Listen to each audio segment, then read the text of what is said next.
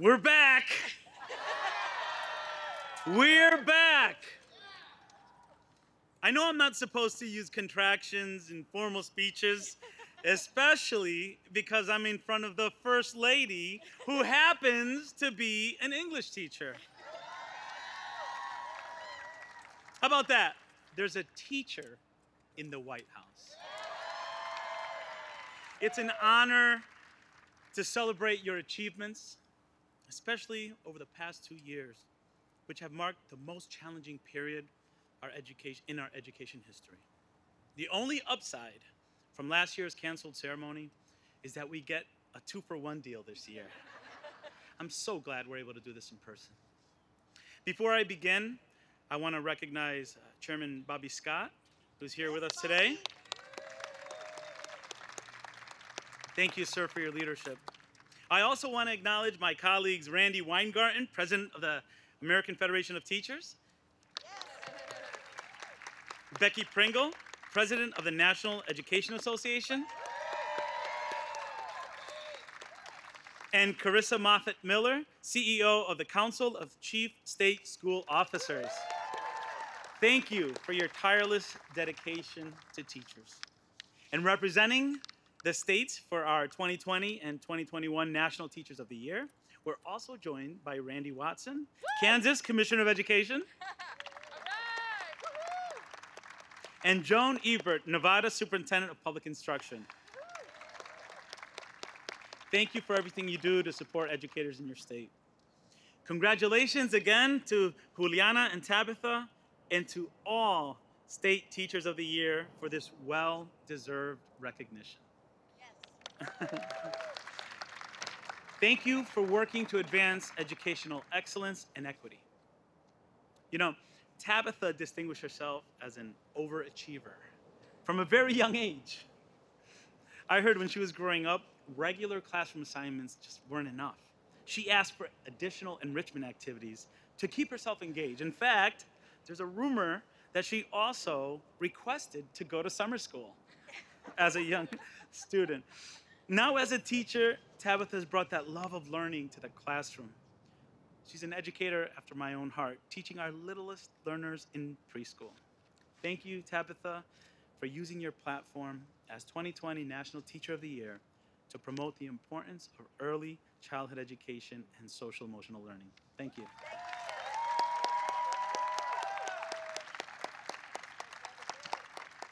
I also want to shout out Juliana, our 2021 National Teacher of the Year.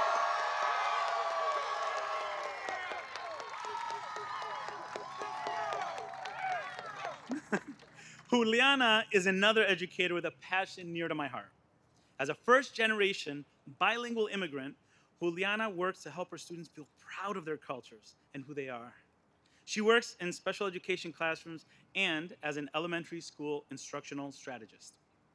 I'm heartened that Juliana is the first Latina National Teacher of the Year in more than 15 years. Juliana, thank you for using your platform to advocate for a joyful and just education for all students. One that's inclusive, affirming, and celebrates the wonder of learning. As educators, we know that supporting America's students has never been more critical.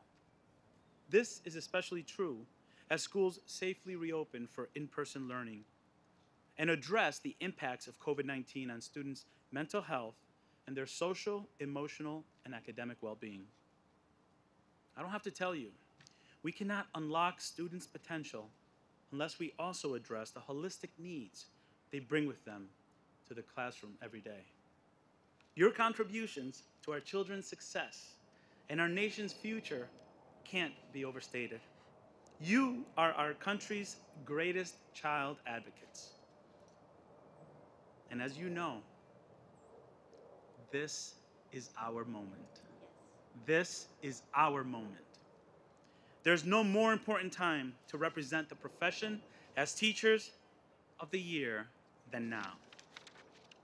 As this prestigious program nears its seventh decade, I also want to recognize the Council of Chief State School Officers for shining the light on the importance of excellence in education through your National Teacher of the Year program. Thank you, Carissa and CCSSO. Thank you.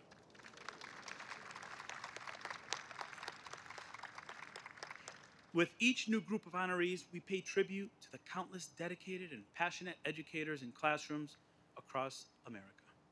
Teachers who are pouring their hearts into their work, inspiring their students, and collaborating with their colleagues and neighbors to make their school communities vibrant places to learn.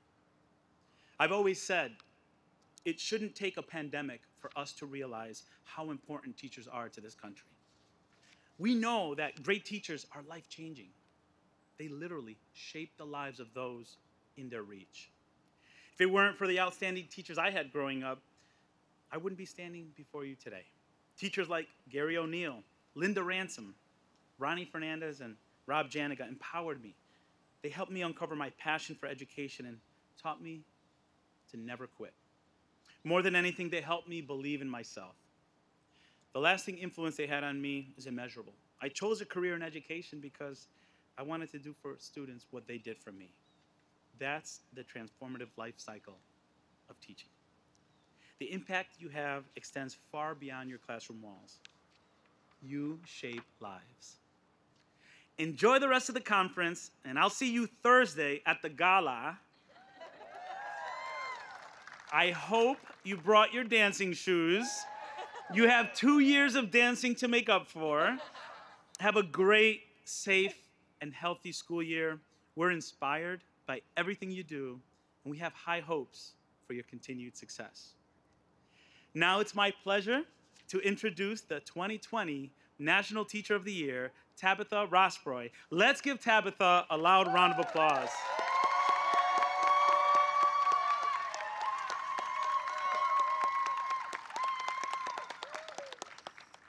Thank you so much.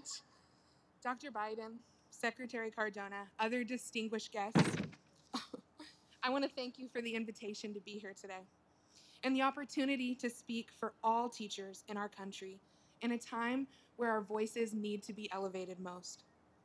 On behalf of the 2020 State Teachers of the Year, we thank you from the bottom of our hearts for elevating and for celebrating our work. As the 2020 National Teacher of the Year, I have represented my home state, Kansas, as well as teachers from across the United States and U.S. territories. It's an absolute honor to represent the experiences of my colleagues throughout one of the most challenging times in our history. I have seen educators show up on the front lines of this pandemic, reshaping content delivery in the matter of days, and rallying their communities to support students in virtual learning when there were glaring needs to be met. I have seen them tired, so tired from the emotional weight of carrying their students' struggles as their own. And I have seen teachers advocate in ways that lift up the voices of their colleagues, their students, and their communities. I teach preschool, as evidenced by my cape. I brought the signatures and the artwork of my students, my community, my family, the grandparents at the preschool and the nursing home that I helped to start, all with me to the White House today to share this experience.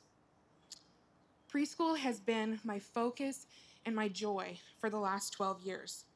And as the first preschool teacher to ever receive the prestigious title of National Teacher of the Year, I have dedicated my year to lifting up the importance of making a preschool experience a part of every child's story. Children's brains are developing most rapidly between the ages of zero to five. And we know that if we can reach our students in these early years, we can chart a path to success for years to come. One day in my class, I was reading a beloved children's book, and about two pages in, a student spoke up and said, uh, Mrs. Tabatha, you have a nice voice, but you talk too much. And I was just getting to the best parts, like two pages. And I thought about this story recently after a particularly challenging day at work I've transitioned into a role as an early childhood coach. And I get to work with the incredible teachers, early childhood teachers in Olathe, Kansas. And I was in a classroom supporting a teacher, trying to help her make it through the day, through her lesson plan, and everything on her to do list. and we were feeling like we weren't getting a single ounce of cooperation from the room full of 12 three year olds. Does anybody have a three year old? Okay, now imagine 12. One student was doing somersaults across the carpet, one was refusing to come out from under the table, one was pretending to be the Hulk, and one was cutting up a friend's piece of artwork into tiny pieces with safety scissors. And in that moment of reflection, I realized that my ideas were nice, the teacher's ideas were nice, but we'd been, in the words of my student, talking too much. We'd been trying to make our kids fit into this mold of a predetermined lesson plan when they were trying to tell us what they really needed, whether that be with their words or with their actions.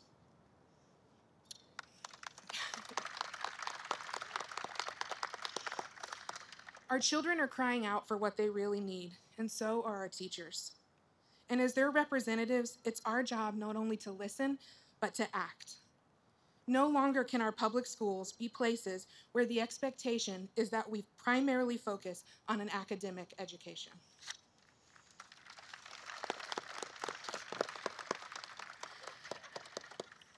It's nice to get this feedback.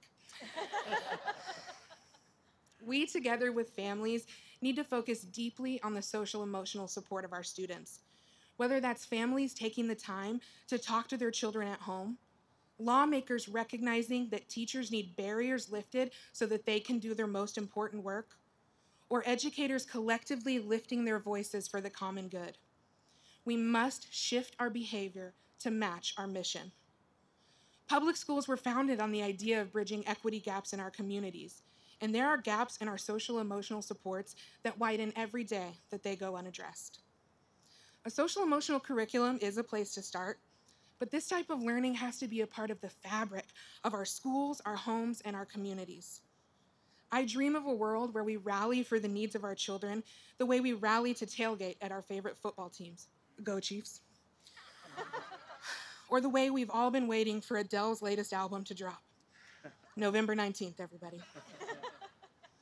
we cannot afford to lose steam.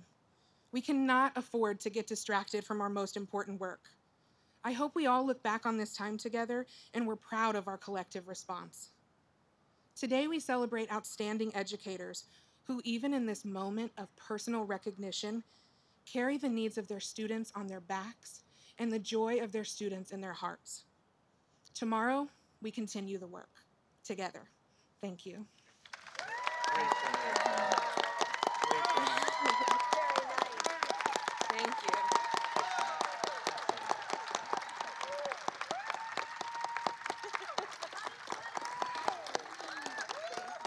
Keep it going, keep it going.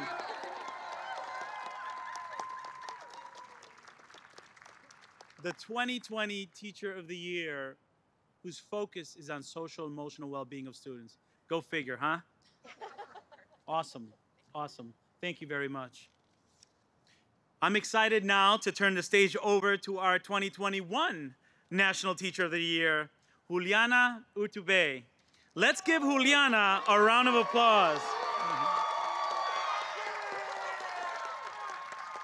Thank you, Secretary.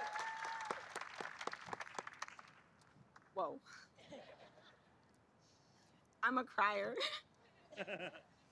But it's the emotion and the pride that I hold for what we're doing today.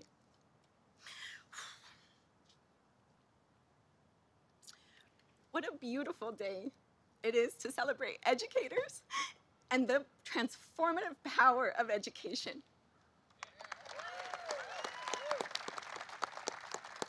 On behalf of the 2021 State mm. Teachers of the Year, I would like to thank the Biden administration for focusing on educational equity through the American Rescue Plan.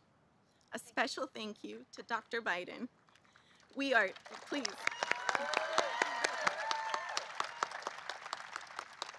Dr. Biden, we are grateful for your leadership in uplifting our profession in every step that you take.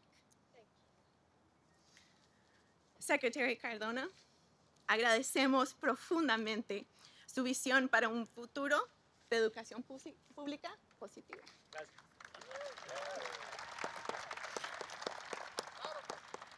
I am so grateful to the strong leadership and mentorship of so many. Thank you to the Nevada delegation, Superintendent Ebert. Thank you for leading by listening to teacher voice. Thank you for your patience. Thank you to Peggy Brookins and Tanya Holmes Sutton for boldly advocating for spaces for teachers of color to shine.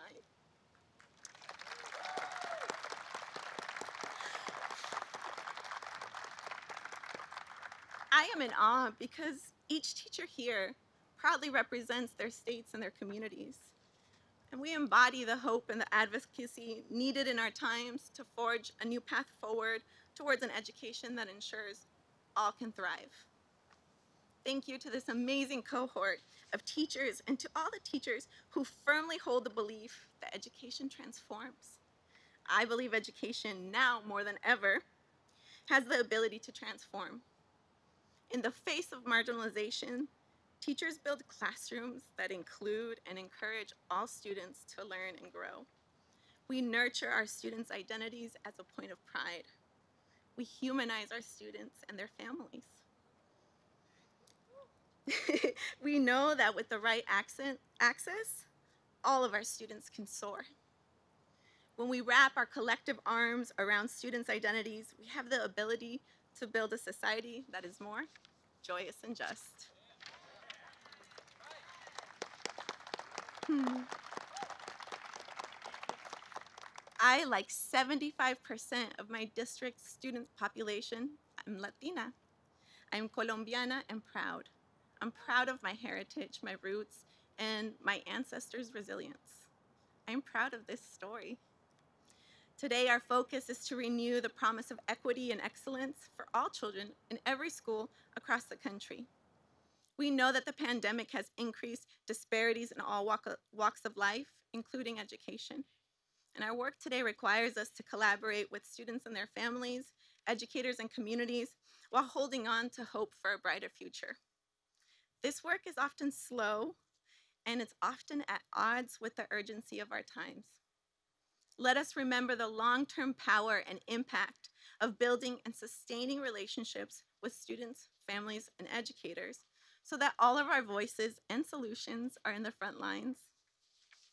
In this way, we can create more joy and justice for students like Joseph, who needed an advocate to partner with his family, and Maritza, who needed her family, uh, her family's home language included at school or Vanessa and Lila, who needed their family's strengths included in their education so that their confidence could shine.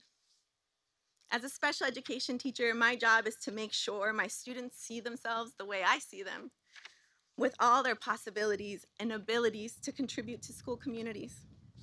As your 2021 National Teacher of the Year, my job is to show the world the incredible power of educators I see each and every day.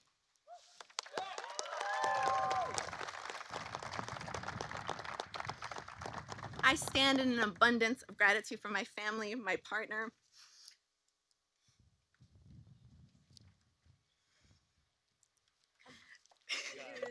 it's Dr. Biden telling me it's gonna be okay. It's gonna be okay.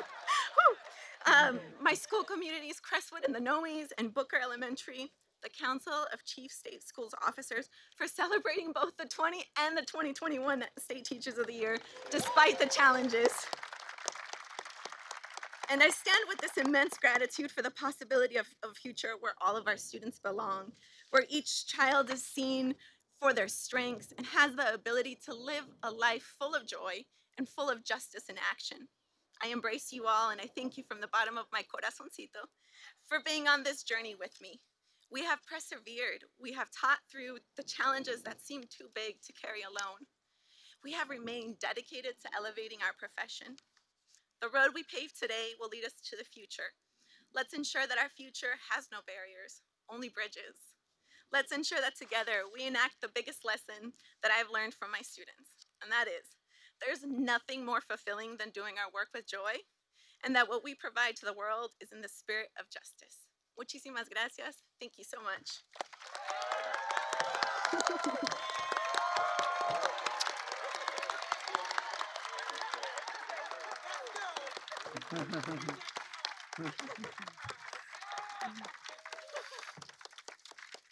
keep it going. Keep it going.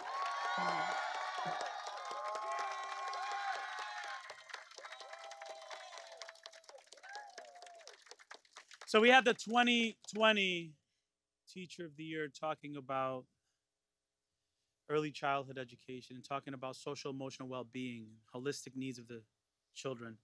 We have the 2021 Teacher of the Year talking about inclusivity and cultural competence. All we have to do is listen and act, and we're going to build back better. That's for sure.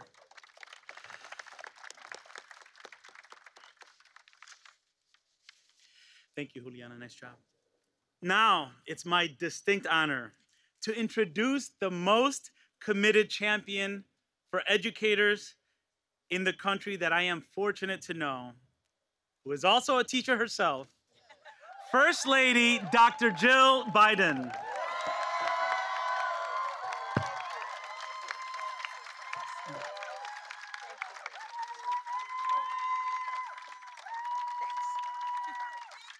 Thank you. Oh, thank you. Thank you very much. Thank you. Thank you. Thank you. And welcome to the White House. Secretary Cardona, as you know, my husband made a promise to educators across America that his Secretary of Education would be a leader who taught in a public school classroom.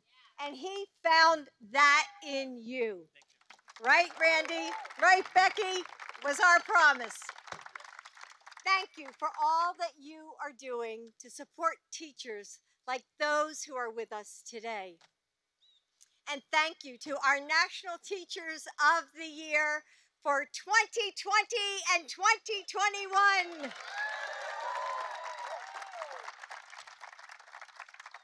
Juliana, I was so happy to surprise you last spring when I when you were announced. It was so much fun, even though it was 4:30 in the morning. and Tabatha, congratulations on being our first ever early childhood education awardee. So why are you here? I don't mean here on the South Lawn. I mean, why are you here? You're here among, because you are among the finest group of educators in our country.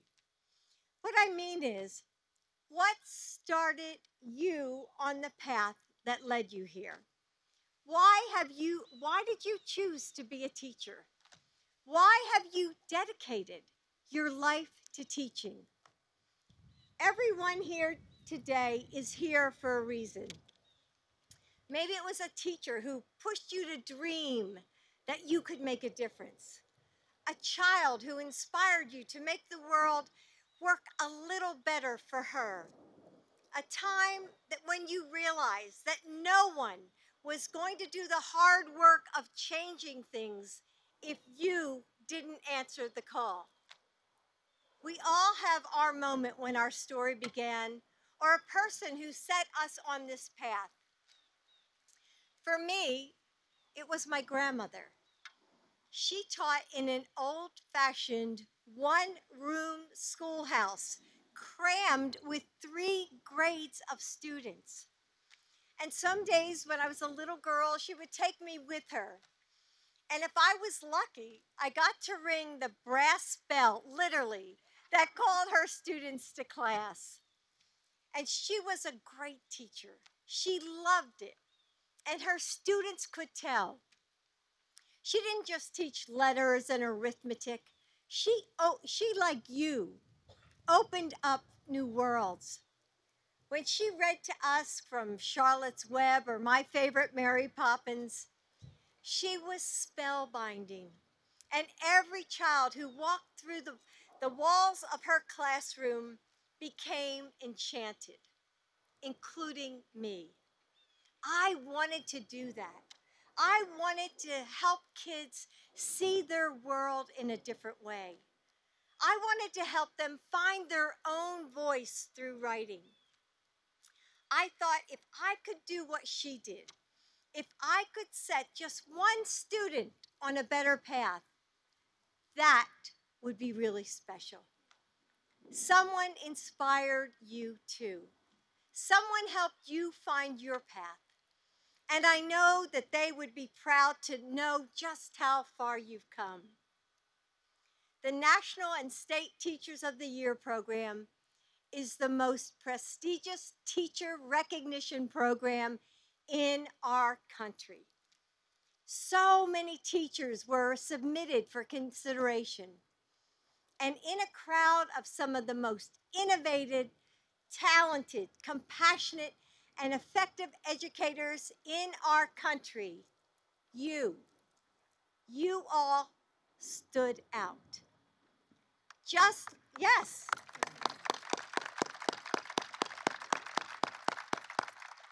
Just look at who is here today.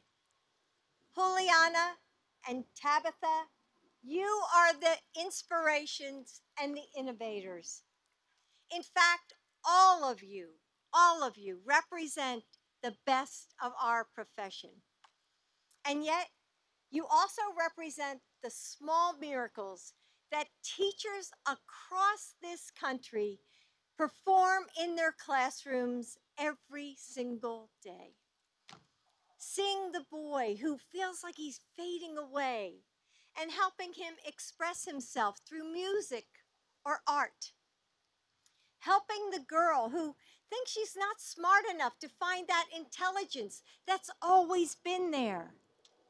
Holding that mom's hand when you tell her, despite her fears and stress, that she's doing a great job. Understanding that the words, I'm fine, often means everything is wrong.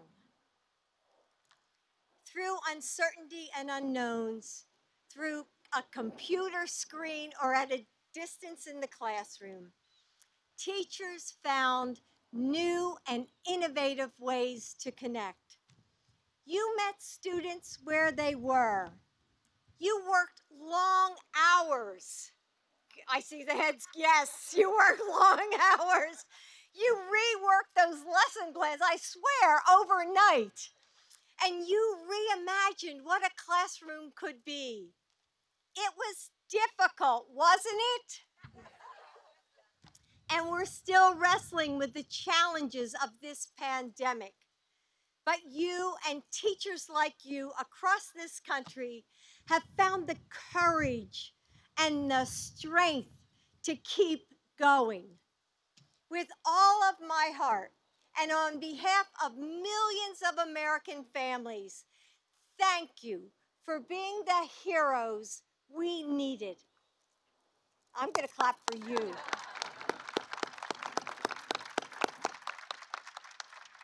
We don't do this job because it's easy. We don't do it because it brings us fame and fortune, that's for sure. We do it because it's more than a job. It's a calling, isn't it? It's part of who we are. And what I want to say to you is this never, ever underestimate the power of what you do every day.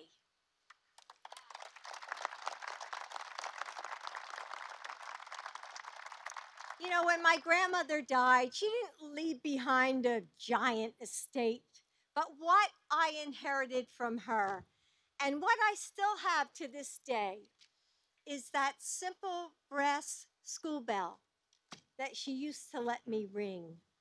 And when I think about that bell, I think about the way her legacy, her love of learning, her patience and compassion resonated into the world like waves of sound, changing those who heard its ring.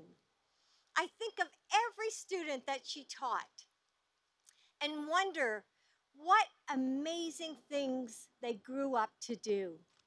Perhaps they are public servants working to make our communities a little stronger or a little fairer.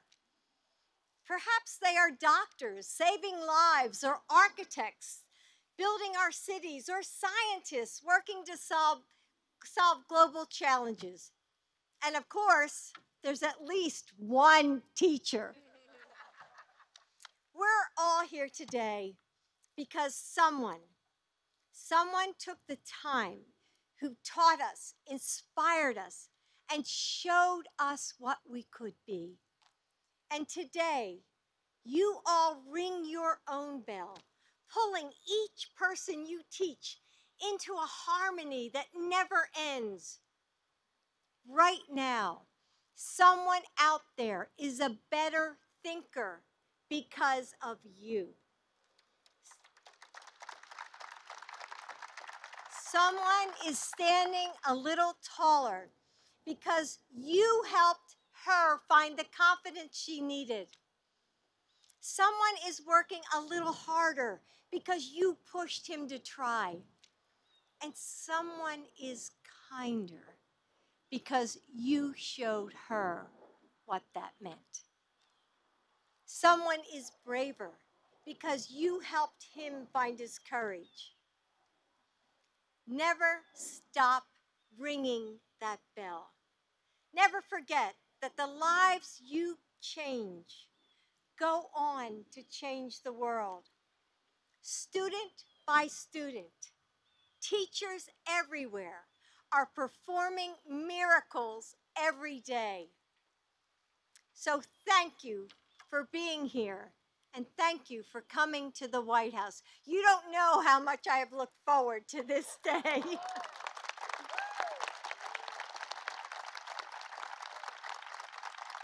thank you.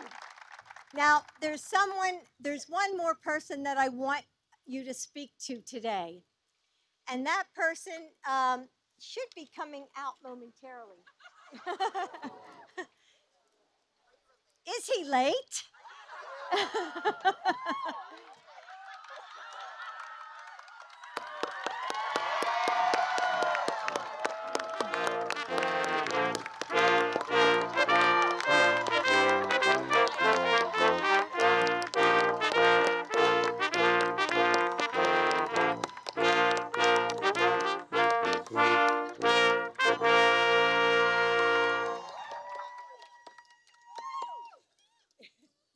name's Joe Biden. I'm Jill's husband. Please, please sit down. Please, please, please, please. Well, Mr. Secretary, as they say in parts of Claymont I'm from, you've done good, fella. As you can see, I didn't get my English lessons from Jill.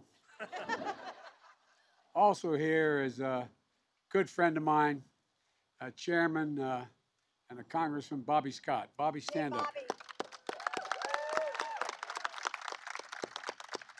And Randi, thank you, thank you, thank you. We kept our commitment, didn't we? Yeah, that's what I said. All right. and I just want you to know, Becky, uh, uh, you know, Jill is a member of the union. I hope her dues are paid up. They are. They are. Okay, I just want to check. Just want to check. There's nowhere we'd rather be than with uh, with educators. You know, uh, when uh, we decided to run and uh, we got elected, Jill elected me. Uh, you all think I'm kidding, huh? Well, what happened was that we we started thinking about it, and I knew immediately. Jill said, "By the way," and I said, "It's okay with me. Teach full time."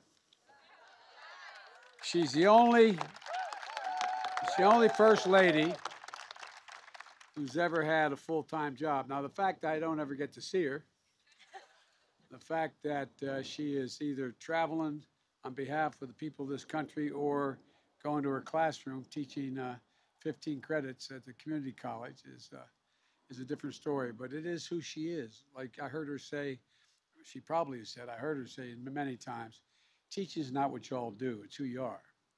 It's what you're made of. And you know, uh, one of the things that I used the line years ago that I still think is relevant in a in a slightly different context.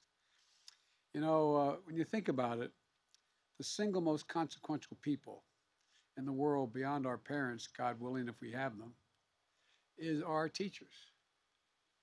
You are, you are the ones who you're, you're the kite strings that lift our national ambitions aloft. I mean, not a joke. It's a reality.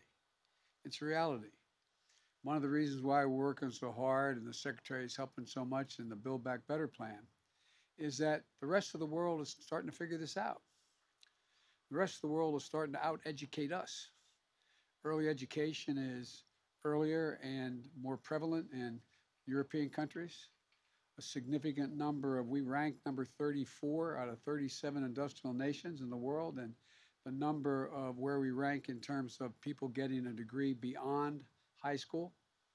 And so we have to get back in step, and you're all the reasons. You're, you're the best of the best. You know, for all of it, uh, you know, uh, by the way, where are my two Delaware teachers?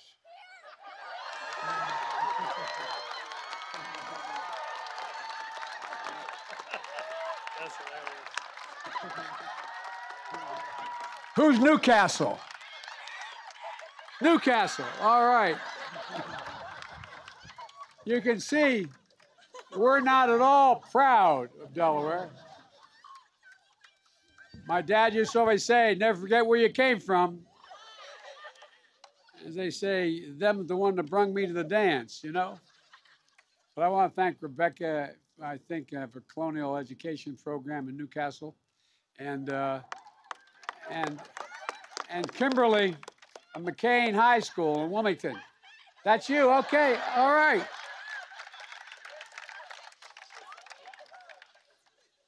And now the two national teachers of the year.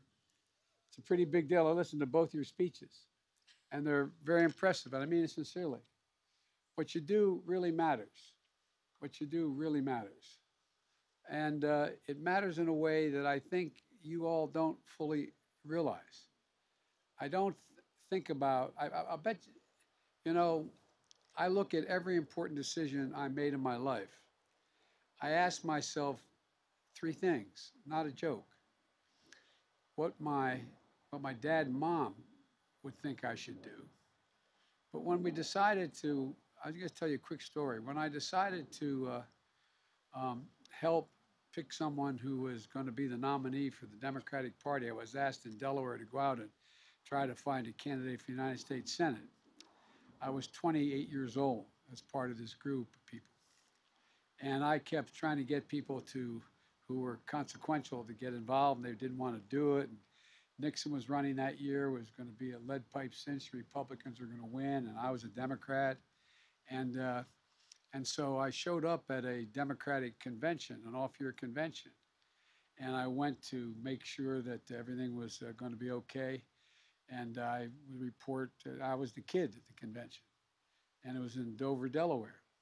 And uh, after the afternoon session, I went back to the hotel, a, a typical hotel, a motel where you drive up, you get out of the car, you walk in the door. And uh, I was in there, I was shaving. And I had a towel around me and uh, I was in the bathroom, which is like eight by ten, and two beds with the headboards nailed to the wall and a desk nailed to the wall, and all of a sudden I hear bam, bam, bam, this banging on my door, and I thought it was a guy, a great friend named Bob Cunningham, and a guy named Dennis. I thought they were coming to pick me up. I thought I was late, so I went to the door, shaving cream, razor in my hand, towel on, opened the door, and who's standing there but the former governor of the state of Delaware? Swear to God, a former Chief Justice uh, of the state Supreme Court and Rhodes Scholar, and more members of his family were United States Senators than any family in American history. Thirdly, a congressman who had been defeated earlier, a great guy, five term congressman, and a guy named Henry Topel, who was the uh, state chairman. And they said, We're coming in.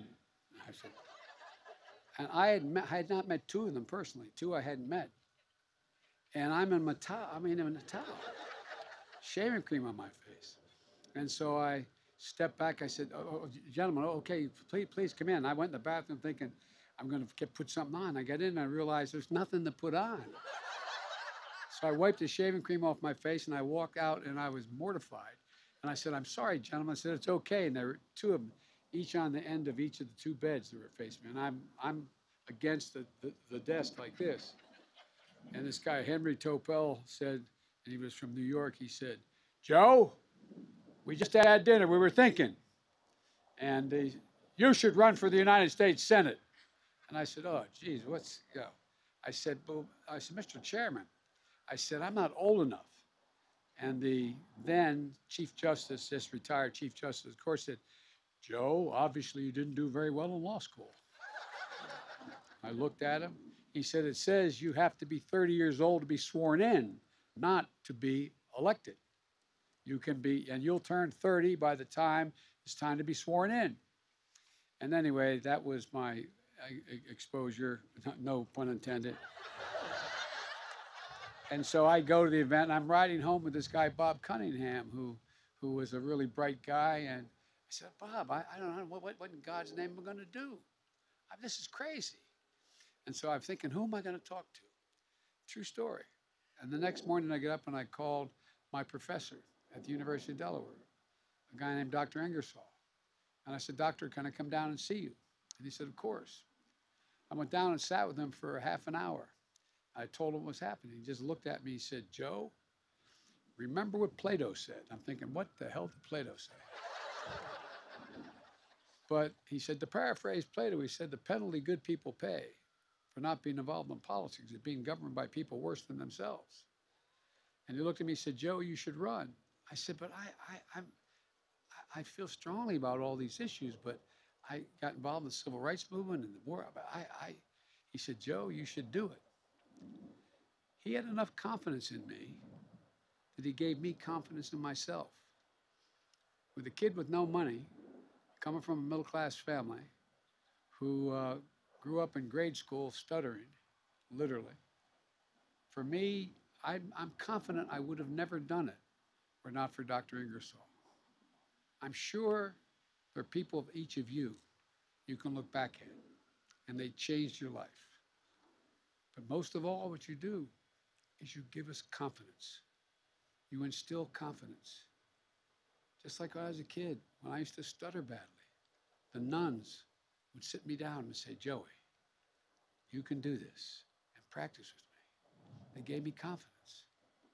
And so, folks, you know, as Jill always says, teaching is not who you what, you do, it's who you are. And it also is, like, let me conclude by saying this about something that, uh, as a strong proponent of education, I, bec- I became friends, and Jill as well, but I became friends with Colin Powell, who we just lost. Think of where Colin Powell is not only a dear friend and a patriot, one of our great military leaders and a man of overwhelming decency. This is a guy born son of immigrants in New York City, raised in Harlem in the South Bronx, graduated from Ci- Ci- City College in New York. And he rose to the highest ranks not only in the military, but also in, in areas of foreign policy and statecraft. This is a guy, and we talk about it, who had teachers who looked at this African American kid and said, You can do anything. So, all I want to say to you really is don't underestimate, don't underestimate what you do. The good news about y'all is you underestimate it, so you come off in a way that you don't feel self important. But you're gigantic, you make a gigantic difference. And I learned that when uh, Jill and I would walk through the malls on Christmas time when I was a senator, and kids would go, hey, hey, hey, hey, and I'd wave. And they'd say, no, no, no, no, Dr. Biden. Dr. Swear to God. So, folks, thank you for what you do. I really mean it. Thank you, thank you, thank you. And uh, now I've got a few little gifts to give here. This is for Tabatha. Tabatha, can you come up here? I don't want to drop this. Do you want to hand it to her? No, you. Me neither.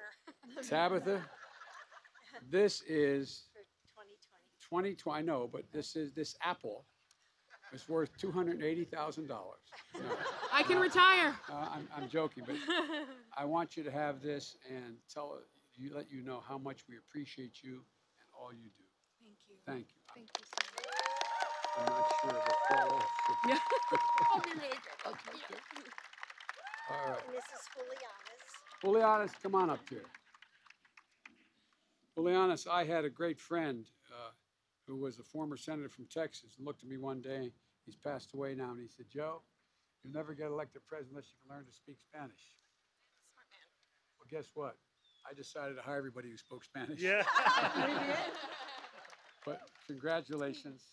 It's a great honor, and I'm delighted to have an opportunity to meet you. Thank you, Mr. President. Thank you very much.